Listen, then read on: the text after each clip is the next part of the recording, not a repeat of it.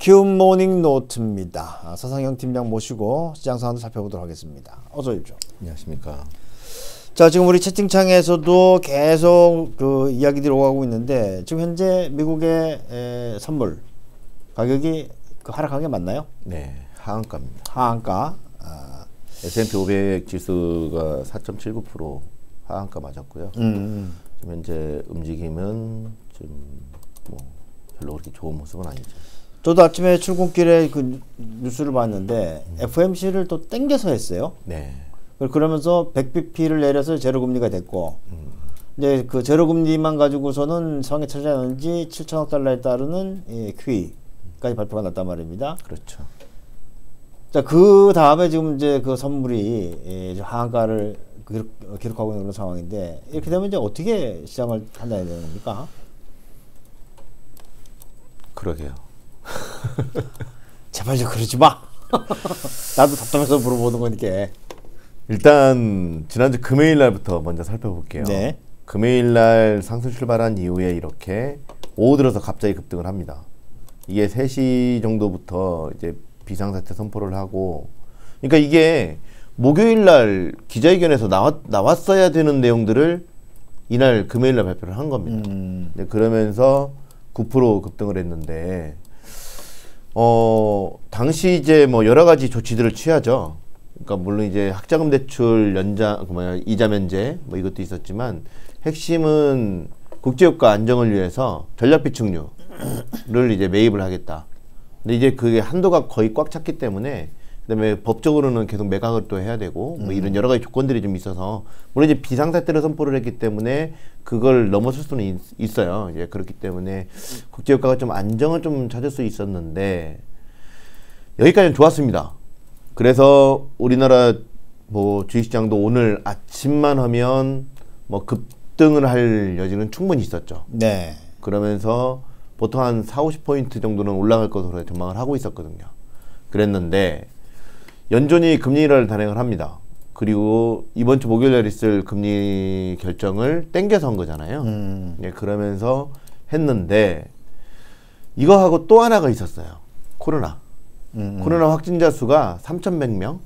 그건 이제 그, 저, 지금까지 진단하지 않다가 그러니까 진단을 시작하니까 늘- 당연히 늘어날 수밖에 없는 것이죠. 예, 그러면서 그- 그렇게 급증을 하다 보니까 거기에 대한 부담.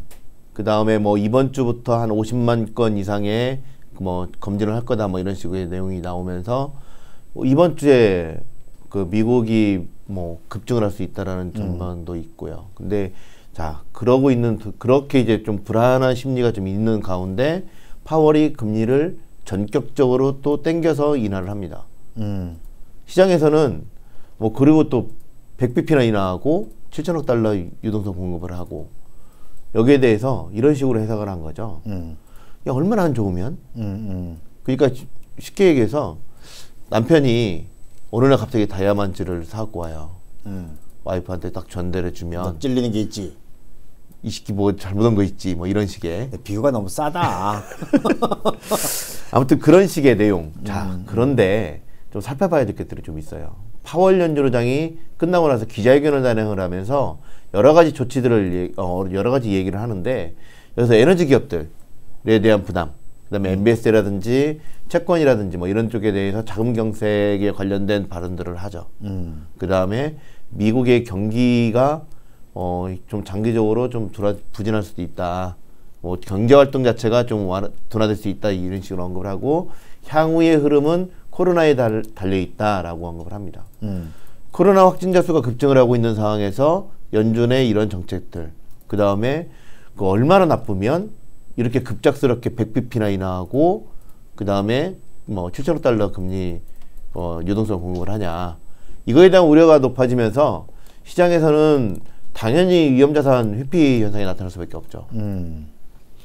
그러면서 미국 그 호주 달러 호주 증시 같은 경우는 한 7% 8% 지금 급락을 하고 있어요. 근데 이거는 호주가 지난주 금요일 날 빠졌다가 상승 전환을 한 모습을 좀 보였었기 때문에 거기에 대한 그 반발 그 매, 매물이라고 보시면 될 것 같고 그러니까 큰 영향이 없고요. 지금 일본이 한 4% 5% 정도 빠지고 있는데 시간의 선물로. 근데 그거는 뭐 달러가 강세 그 달러가 약세를 보이니까 그 당연히 엔화는 강세를 보일 수가 있죠. 음, 이제 그런 부분들. 그다음에 최근 들어서의 금융시장의 특징 중에 하나가 주가 지수가 빠지면 금리도 빠져야 돼요. 당연하죠. 왜 그러냐면 안전자산 쪽으로 가니까 채권을 저기 사니까. 근데 최근 들어 금리가 올랐어요. 음.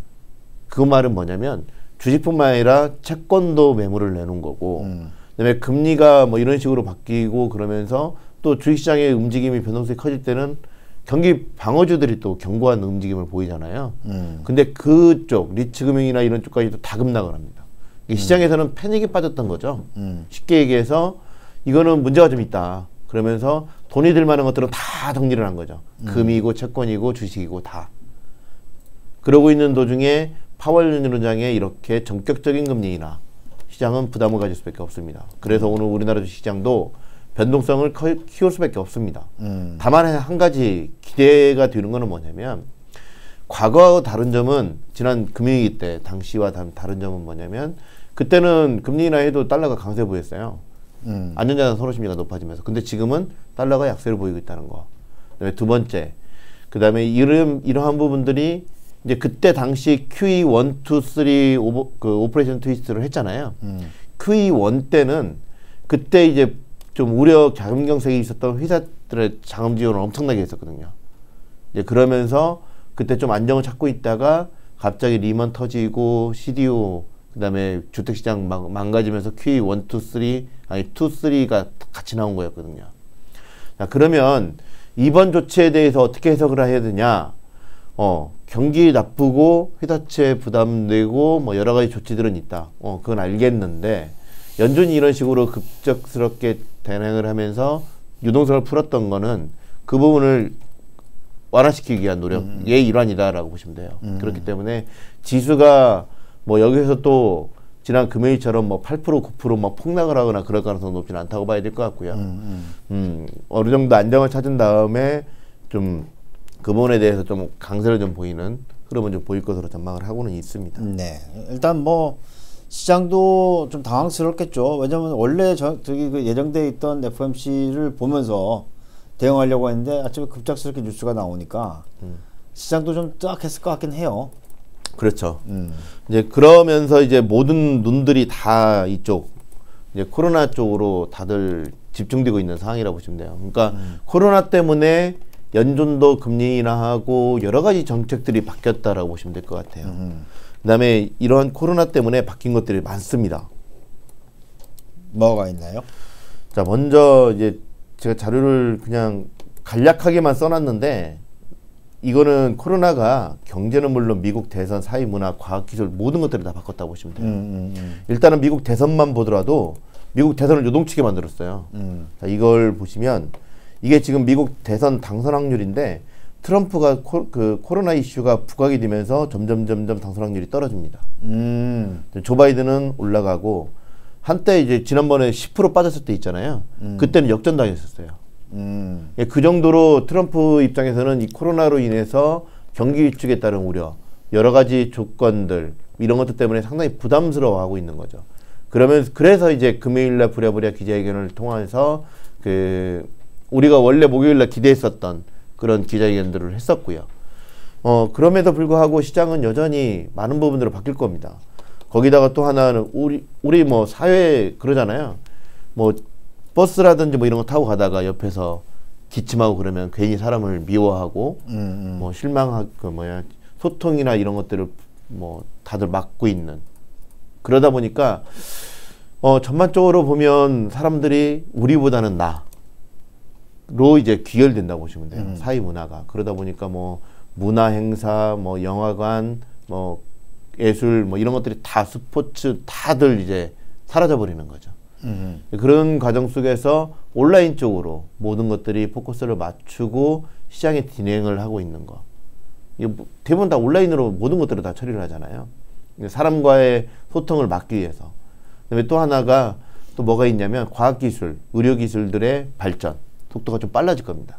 과거 패스트라든지 뭐 이런 세계적인 대유행이 있었을 때 많은 제약회사나 이런 쪽이 지금 100m 달리기를 하고 있어요. 음. 여기서 누군가가 1등을 하게 되면, 그러니까 치료제가 나오게 되면 그 회사는 빅파마, 그러니까 큰 회사로 발전할 수 있는 여력이 충분히 있죠. 음, 이제 그러다 보니까 물론 나머지 것 나머지 회사들 같은 경우도 그걸 그 계속 준비를 해왔기 때문에 그 관련된 기술은 급증을 하죠. 그래서 과거에 이렇게 뭐 질- 대형 질병이나 이런 것들이 발생을 하고 난 다음에는 그 관련된 제약바이오 회사들의 기술력이나 이런 것들이 튀어 올라가는.